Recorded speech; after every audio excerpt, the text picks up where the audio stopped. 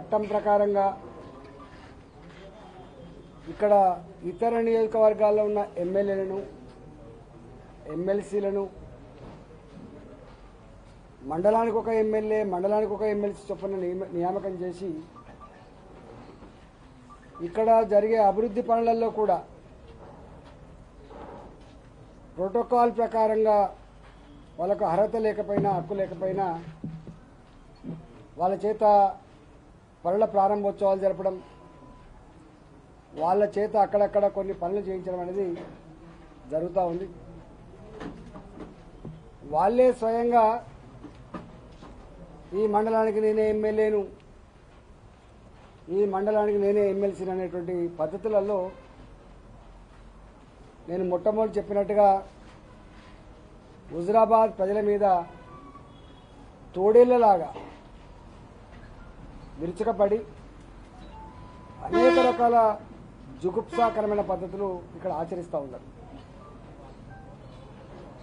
ఎన్నో సందర్భాల్లో అకారణంగా బైండోవులు చేయడం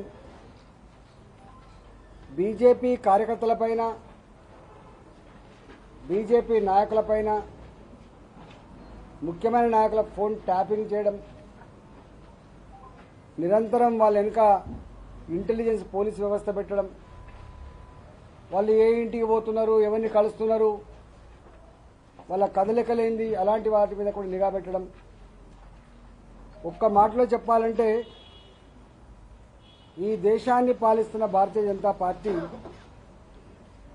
తెలంగాణలో నిషేధించబడ్డ పార్టీలాగా. ఇవాళ వాళ్ళ బిహేవియర్ ఉన్నది. మరి ఎందుకు ఇట్లా చేస్తున్నారో ఎందుకు ఇంత నికృష్టమైన పని కొడిగట్టిందో నేను చాలాసార్లు ప్రెస్ సందర్భంగా చెప్పిన కానీ ఎక్కడ మార్పు లేదు. చివరికి ఏ స్థాయికి వచ్చిందంటే అనాథరైజ్డ్గా ఒక్కొక్క పోలీస్ స్టేషన్ ఒక డిఎస్పీ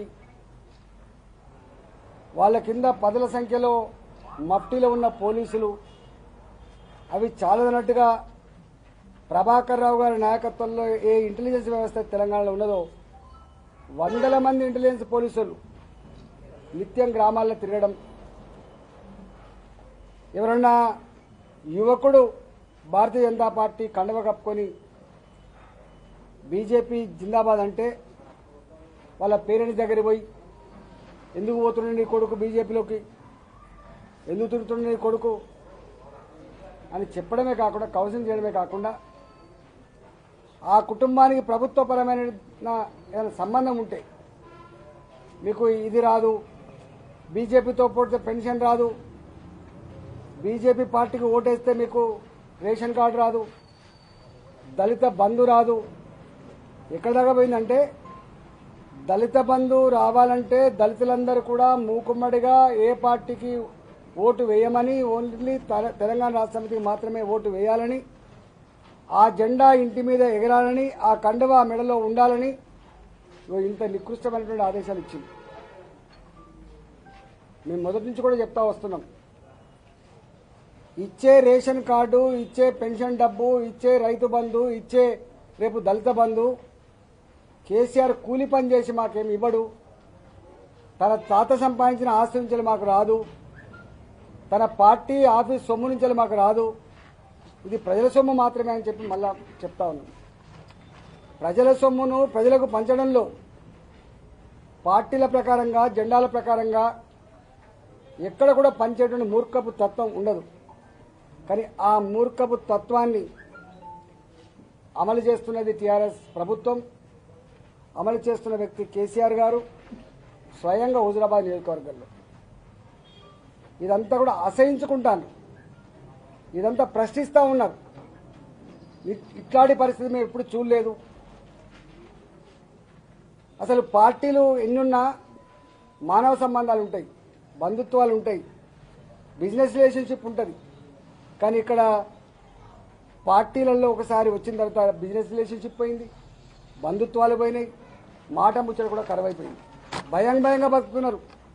ఎందుకంటే మేము చూసే చిన్నప్పుడు నువ్వు నక్సలైట్ పార్టీకి అన్నం పట్టుకపోయినవాడ నువ్వు చిట్టి తీసుకుపోయినవాడ నువ్వు షెల్టర్ ఇచ్చినవాడా అని చెప్పి తీసుకుపోయి వచ్చేస్తుండే ఇప్పుడు ఒక గా పరిస్థితులు ఇక్కడ నడుస్తూ ఉంది.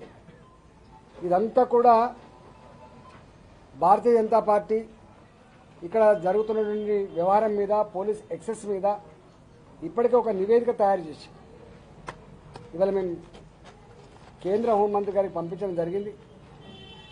దీన్ని తప్పకుండా వీటి మీద హెచ్ఆర్సీలో ఫైల్ చేస్తాం. వీటి మీద హైకోర్టులో కేసులు వేసే ప్రయత్నం చేస్తాం ఇట్లనే ఉంటే. ఎవరెవరైతే చట్టాన్ని లోబడి పనిచేయనటువంటి ఆఫీసర్లు ఉన్నారో వాళ్ళు ఇష్టానికి ప్రలోభాలకు గురుభక్తికి పనిచేసే వాళ్ళు ఉన్నారో తప్పకుండా రేపు పనిష్మెంట్ ఉంటుందని చెప్పి ఇంతకుముందు చెప్పినా మళ్ళీ ఇవాళ చెప్తా ఉన్నా. ఆ తదుపరి పరిణామాలకు మాత్రం మీరే బాధ్యులని చెప్పి కూడా హెచ్చరిస్తా ఉన్నా. ఇవాళ రేపు దళిత బంధు ప్రారంభోత్సవం జరగబోతా ఉంది. మేము మొదటి నుంచి చెప్తా వస్తున్నాం. దళిత బంధుని మేము స్వాగతిస్తున్నాం. దళిత బంధును హుజరాబాద్లో పూర్తి స్థాయిలో ప్రతి దళిత కుటుంబానికి ఇవ్వాలని చెప్పి కోరినాం. దళిత బంధును హుజరాబాద్ ఎన్నికల నోటిఫికేషన్ లోపు విధి విధానాలు ఖరారు చేసి రాష్ట్రమంతా కూడా అమలు చేయాలని చెప్పి కోరినాం. కేవలం హుజరాబాద్ దళితుల ఓట్ల మీద ప్రేమతో కాకుండా తెలంగాణ దళిత జాతి ఆకలి కేకలను దూరం చేసే దాంట్లో భాగంగా ఇవాళ ఈ కార్యక్రమం వస్తుందని చెప్పి మేము అన్నాం. కానీ దీని వాలకం చూస్తూ ఉంటే మేం చేసింది కాదు. ఊరికి ఆరు మందినో ఏడు మందినో సెలెక్ట్ చేయడం ఊరికి పది మందినో ఇరవై మందినో సెలెక్ట్ చేయడం ఆ సెలెక్షన్లో కూడా స్థానికంగా లేని వాళ్ళను అంతో ఇంతో కాస్త ఉన్న వాళ్ళను ఇంతో అంతో ఉద్యోగాలు చేస్తున్న వాళ్ళను తన పార్టీ జెండా కప్పుకున్న వానికి ఇచ్చింది తప్ప ఎప్పుడు కూడా ప్రభుత్వమే పర- పథకాలకు ఒక విధి విధానం ఉంటాయి. ఇగో గింత ఆదాయం ఉన్న వాళ్ళకు మాత్రమే ఇస్తాం. ఇగో ఈ నిబంధనలకు లోబడి ఉన్న వాళ్ళకి మాత్రమే ఇస్తాం. ప్రభుత్వ ఉద్యోగాలు ఉంటే ఇవ్వం. పెద్ద ఎత్తున భూస్వాములు అయితే ఇవ్వం. పెద్ద ఎత్తున పారిశ్రామికవేత్తలు అయితే ఇవ్వం. పేదవాళ్ళు ఎవరైతే ఉన్నారో వాళ్ళకి ఇచ్చే విధి విధానాలు ఉంటాయి. కానీ ఇక్కడ మాత్రం ఏ విధి విధానాలు లేవు. తనకు నచ్చిన వ్యక్తికి తనకి ఇష్టమున్న వ్యక్తికి ఇచ్చుకునేటువంటి దరిద్రపు పద్ధతి బయటికి రాగానే హుజురాబాద్ దళితవాడని బగ్గుమన్నాయి అన్ని గ్రామాల్లో రిపోర్ట్ రాకపోవచ్చు. ప్రెస్ వాళ్ళు దాన్ని క్యాచ్ చేయకపోవచ్చు. కానీ హుజురాబాద్ నియోజకవర్గంలో ఉన్న అన్ని దళిత వాడలలో వాళ్ళు ఊరేగింపులు తీసి రాస్తా రోకోలు చేసి శాపనార్థాలు పెట్టింది. ఈ ప్రభుత్వం యొక్క నాటకం అర్థమైంది. ఈ ప్రభుత్వం మా మీద ఎంత ప్రేమ ఉందో తెలిసిపోయింది. ఇదంతా ఉత్త నాటకం. ఇవాళ కేవలం హుజరాబాద్లో ఈటల రాజేంద్రను ఓడి ఓడించాలని. హుజరాబాద్ నియోజకవర్గంలో ఈటల రాజేంద్రను ఓడించాలని చెప్పి ఒక కపట పద్ధతిలో ఈ స్కీమ్ వచ్చింది తప్ప ఇది నిజంగా దళితుల కోసం రాదని చెప్పి వాళ్ళే మాట్లాడి నేను మాట్లాడలేదు.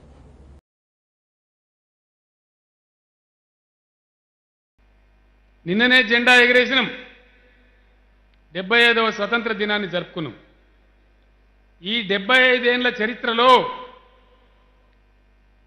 మన రాష్ట్రంలో కాదు ఈ భారతదేశంలో ఒక ప్రధానమంత్రి కానీ ఒక ముఖ్యమంత్రి కానీ ఒక పార్టీ కానీ ఇంకెవడన్నా నాయకుడు కానీ దళిత కుటుంబాలను ఆదుకోవాలి ఇంటికి పది లక్షల రూపాయలు ఇవ్వాలి ఎవడన్నా మాట్లాడిండా? ఎప్పుడన్నా మాట్లాడిండ్రా?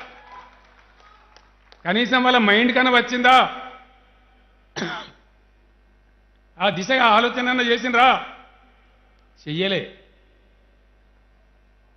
నేను ఒకటి ఒకటి ఒకటి ఇల్లు సంసారం జగబెట్టినట్టు.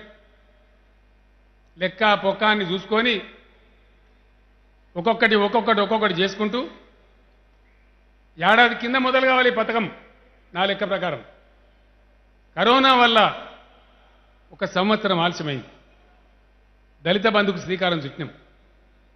ఇక నేను అన్ననో లేదో కిరికిరిగాళ్ళు కొండిగాళ్ళు వాడు కీ అంటే వాడు కా అంటే వాడు ఇంత ఇయ్యాలంటే వాడు అంత ఇయ్యాలంటే ఏ కాన కొత్తలియలోడు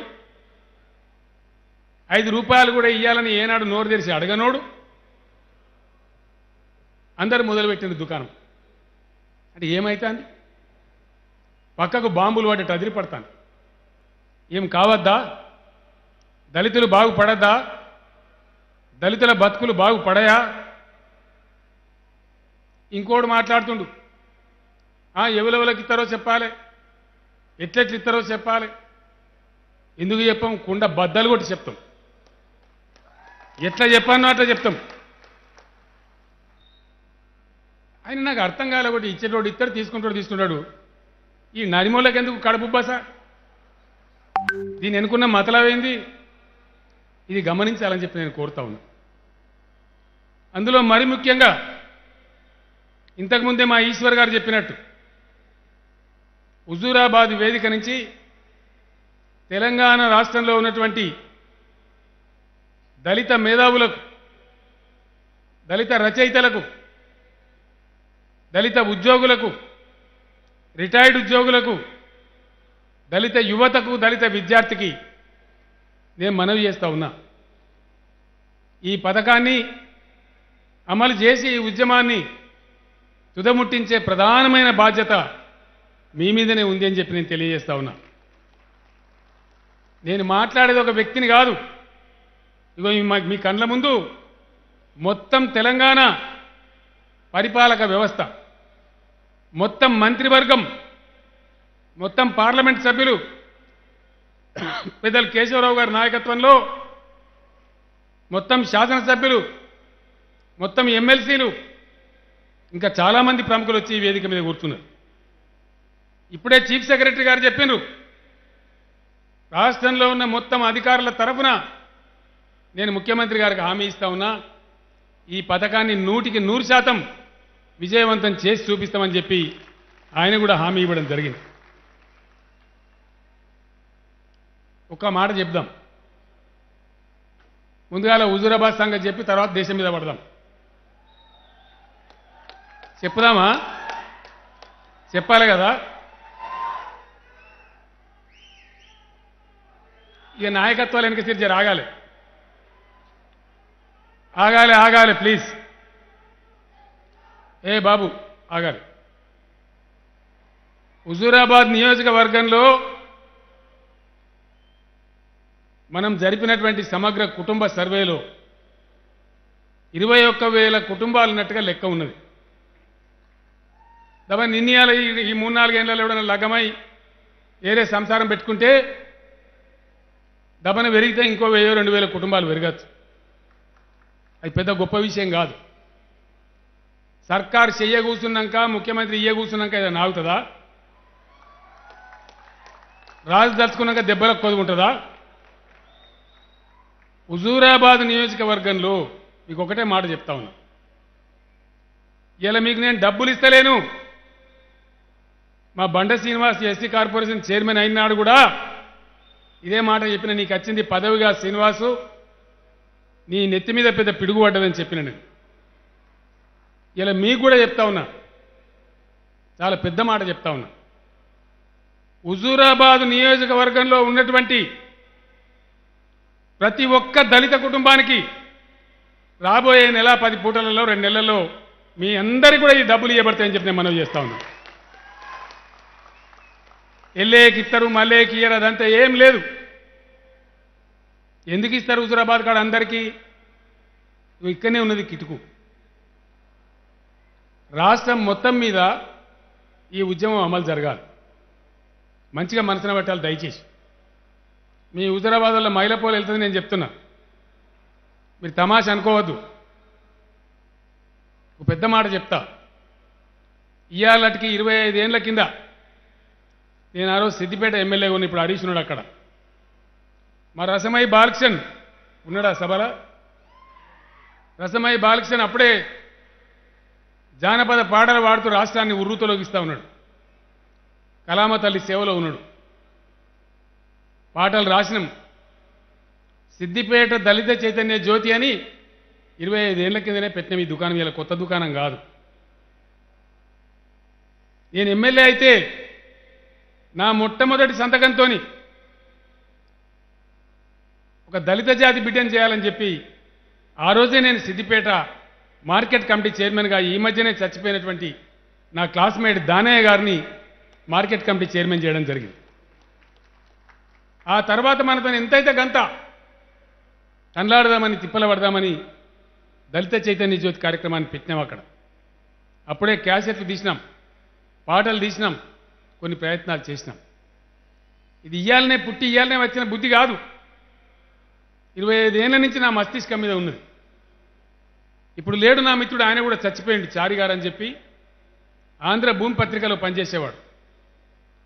ప్రపంచవ్యాప్తంగా అనగారినటువంటి అణిచివేయబడ్డటువంటి జాతులు ఎన్ని ఉన్నాయి దానిలో ఎన్ని వందల కోట్ల మంది ఉన్నారని మేము ఒక అధ్యయనం చేసినాం. మొత్తం ప్రపంచవ్యాప్తంగా నూట అరవై ఐదు జాతులు మన భారతదేశంలో దళితుల్లాగా సామాజిక వివక్షకు గురై ఉన్నారు. అణిచివేతకు గురై ఉన్నారు. అవకాశాలు లేక ఆస్తులు లేక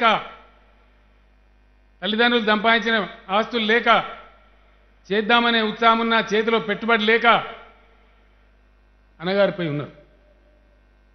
డాక్టర్ బాబాసాహెబ్ అంబేద్కర్ గారి పుణ్యమాని ఆయన చేసిన పోరాట ఫలితంగా కొన్ని పదవులలో రిజర్వేషన్లు వచ్చినాయి. కొన్ని విద్యావకాశాలు వచ్చినాయి. కొద్దిమందికి ఉద్యోగం దొరికింది. కానీ చాలామంది నూటికి తొంభై ఐదు శాతం మంది ఇయాలటి కూడా అనేకమైనటువంటి పేదరికంలో సామాజిక వివక్షలో తమ గుండెల్లో బాధను అనుసుకొని బతుకుతా ఉన్నారు. ఈ బాధ విముక్తి కావాలి. దీనికి మార్గం లేదా? ఇలా తెలంగాణ ప్రభుత్వం చేసే పని భారతదేశం మొదలైన కాడి నుంచి డెబ్బై ఐదేళ్ళ కిందనే మొదలు పెడితే ఈ దుస్థితి ఇప్పుడు ఉండేది అయ్యేలా ఇంతమంది ప్రధానమంత్రులు ఎన్ని పార్టీలు ఇంతమంది ముఖ్యమంత్రులు ఒక్కొక్కటి నాతో రెండు వందల దొడ్డుండే. ఎందుకు చేయలేదని చెప్పి నేను అడుగుతా ఉన్నా. ఇలా మేము చేస్తామంటే దానికి ఒకడు కీ అని ఒకడు కా అని అడ్డంకులు సృష్టించే ప్రయత్నం చేస్తూ ఉన్నారు. అందుకే హుజూరాబాద్ నెల రెండు నెలల మీ కథ అయిపోతుంది. మీ కథ అయిపోతుంది కానీ నా కథ అయిపోదు. హుజురాబాద్ లాంటి బాధలు ఇంకా నూట పద్దెనిమిది ఉన్నాయి.